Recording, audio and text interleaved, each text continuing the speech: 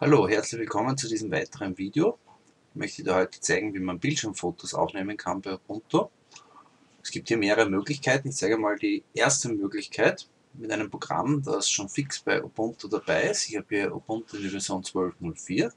Ich klicke hier auf die Dash-Startseite, um das Programm zu starten. Und ich gebe hier oben ein Bildschirmfoto. Bildschirmfoto, das wird mir hier schon angezeigt. Ich starte das und kann mich jetzt hier entscheiden in diesem Auswahlmenü, ob ich den gesamten Bildschirm aufnehmen möchte oder nur ein bestimmtes Fenster oder einen Aufnahmebereich mir auswählen möchte. Ich wähle einmal aus hier den gesamten Bildschirm aufnehmen, klicke auf hier Bildschirmfoto aufnehmen und ich sehe dann hier, dass das gesamte, der gesamte Bildschirm dann praktisch abfotografiert wurde. Hier kann ich mir dann überlegen, welchen Ort ich hier speichern möchte und hier kann ich auch dann den Dateinamen festlegen. Ich lasse das jetzt mal weg. Ich starte wieder Bildschirmfoto. Hier habe ich ja die zuletzt äh, angeführten Programme, die ich schon verwendet habe. Alternativ dazu könnte ich hier dann oben im Dash das natürlich suchen, das Programm. Ich will also wieder Bildschirmfoto und überlege mir jetzt das aktuelle Fenster aufzunehmen. Um das äh, wirklich ein aktuelles Fenster zu haben, starte ich mal in LibreOffice zum Beispiel. Wähle mir hier aus LibreOffice ähm, New Document habe hier dieses Fenster, nehme hier wiederum dieses Fenster, will mir aus das aktuelle Fenster aufnehmen, klicke jetzt hier drauf. Das Ganze vielleicht nach einer gewissen Zeit, also nach zwei Sekunden soll dann das aktuelle Fenster gerade aufgenommen werden, das ich hier ausgewählt habe. Klick drauf, wähle das jetzt hier aus. Und man sieht dann hier, dass ich das aktuelle Fenster dann aufgenommen habe. Als nächstes, ich speichere es jetzt mal nicht, hier, möchte ich nur einen bestimmten Bereich des Bildschirms aufnehmen, also nicht ein bestimmtes Fenster oder den gesamten Bildschirm, sondern nur einen bestimmten Aufnahmebereich. Ich klicke jetzt hierher und es hat sich mein Mauszeiger verändert und ich kann jetzt hier dann das hier aufziehen. Wenn ich die linke Maustaste loslasse, sieht man, dass hier das entsprechende äh, Foto dann vom Bildschirm aufgenommen wurde. Ja, und ich kann die äh, Fotos dann abspeichern in einem bestimmten Verzeichnis und könnte sie dann weiter bearbeiten. Eine Alternative dazu wäre ein anderes Programm, das man sich dann äh, nachinstallieren müsste unter Ubuntu. Das wäre das Programm Shutter. Installieren geht ja hier über, Ubuntu, über das Ubuntu Software Center. Ich kriege jetzt eine Liste aller möglichen Anwendungen. Man kann jetzt hierher gehen. Ich könnte jetzt hier eingeben Shutter siehst du gleich, wie man das schreibt. Hier. Es hat schon recht gute Bewertungen bekommen. Ich kann das Programm nicht mehr installieren, weil ich es schon installiert habe. Ich könnte es hier entfernen, das möchte ich natürlich nicht, aber ich wollte ja zeigen, wie man es installieren kann. Ich schließe jetzt hier das Ubuntu Software Center und starte wieder den Dash das Programm Shutter. Sie haben hier eingeblendet, linke Maustaste drauf und das Programm wird gestartet. Dieses Programm Shutter hat einen großen Vorteil im Gegensatz zum normalen Bildschirmfotoprogramm, das bei Ubuntu schon dabei ist, dass ich dann gleich im Anschluss, nachdem ich die Fotos aufgenommen habe, diese gleich bearbeiten kann. Ja, machen wir es vielleicht wiederum, äh, dass wir die Benutzeroberfläche uns wiederum äh, anschauen. Ich kann hier wieder eine Bildschirm, eine Auswahl vom Bildschirm abfotografieren. Ich überlasse jetzt hier die Einstellung erweitertes Auswahlwerkzeug, klicke jetzt hier auf Auswahl und ich kann jetzt hier wieder das aufziehen. Und wenn ich Enter gedrückt habe, also ganz wichtig Enter, dann landet der Bildschirmausschnitt hier in dem Fall im Programm Shutter. Ich kann das jetzt hier weiter bearbeiten, indem ich hier auf Bearbeiten gehe und habe jetzt hier mehrere Einstellungsmöglichkeiten. Ich könnte jetzt hier zum Beispiel auch einen Text hinzufügen. Ich gehe hierher, ziehe ein Textfeld auf und schreibe dann da hinein. Klicke mit der linken Maustaste hinein und schreibe jetzt hier ein, zum Beispiel Menü, Leiste.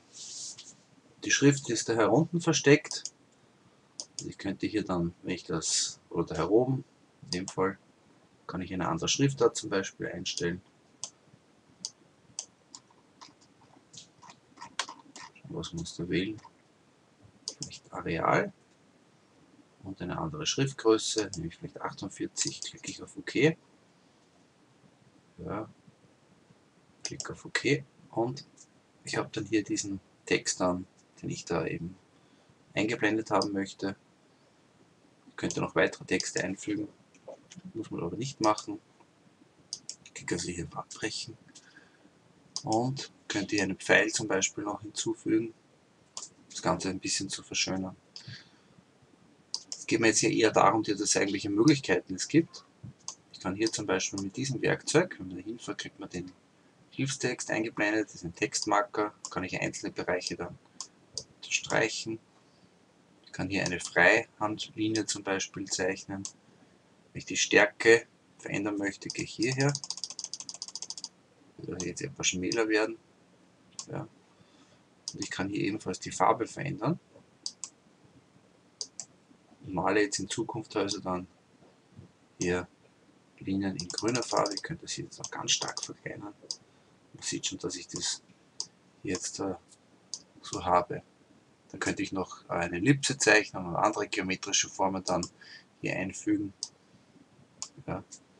Und ganz entscheidend ist sicherlich, dass ich hier auch das Bild zuschneiden kann. Jetzt wird hier dieser Ausschnitt, den ich vorher eben abfotografiert habe, eben zentriert in diesem Fenster. Kann jetzt hierher gehen, kann das jetzt hier aufziehen und könnte jetzt diesen Bereich, den ich aufgezogen habe, dann verschieben und auf der rechten Seite hier sieht man dann den Menüpunkt zuschneiden ja, und das Fenster wird jetzt hier darauf ähm, zugeschnitten.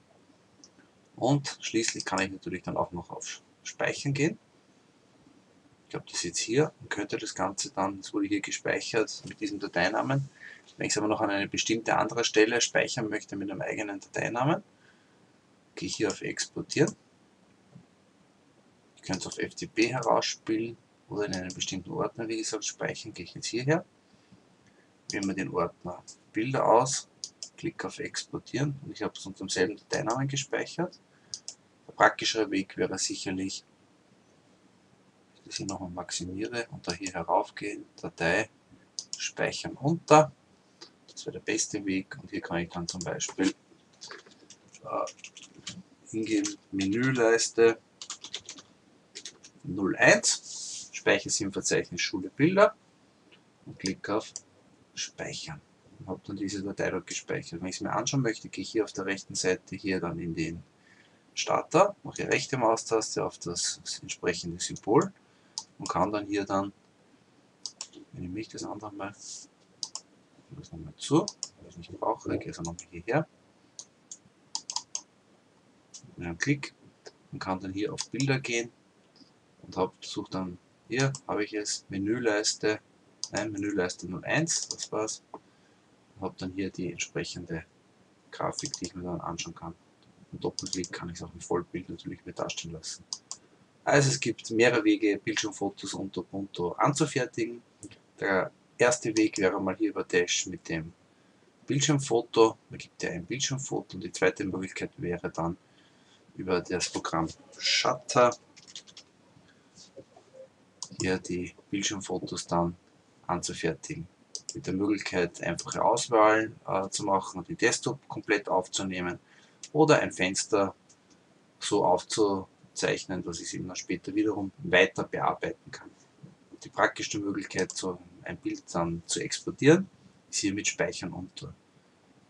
Es gibt diverse andere Möglichkeiten noch, aber es wird jetzt nicht notwendig sein, da näher darauf einzugehen. Ich danke dir für deine Aufmerksamkeit. Bis zum nächsten Mal.